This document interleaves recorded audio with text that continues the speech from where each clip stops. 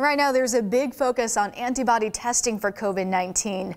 Some Hampton Roads hospitals and the American Red Cross have teamed up to test local patients. 13 News Now reporter Angelo Vargas explains how COVID-19 survivors will need to donate their plasma to make that happen.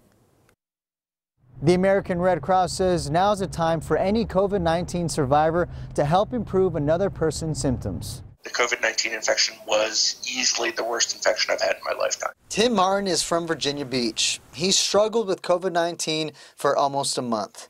Uh, just standing up, getting out of the bed was uh, enough to make me lose my breath. Martin's pain is a reminder of how others are struggling with the virus.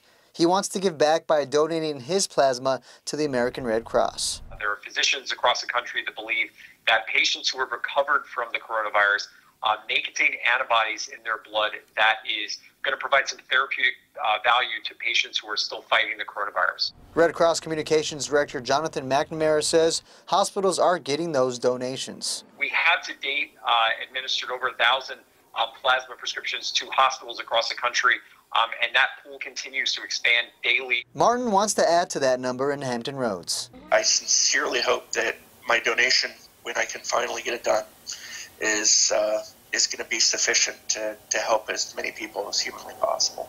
Martin says he's currently on a wait list for his appointment to donate. McNamara explains you do have to qualify for a plasma donation. Donating takes about an hour. We have a link to those requirements on 13newsnow.com. In Virginia Beach, Angelo Vargas, 13 News Now.